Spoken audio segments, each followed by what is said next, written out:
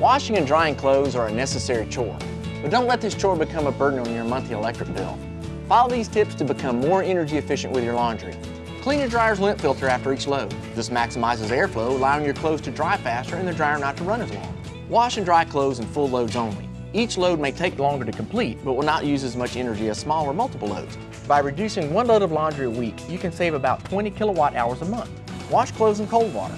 With cold water detergents available nowadays, you don't have to sacrifice cleanliness to save money. If you'd like to cut your dryer's energy usage to zero, you could install a clothesline. Sunshine is free.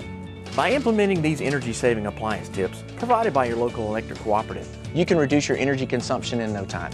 Go online and visit togetherwesave.com.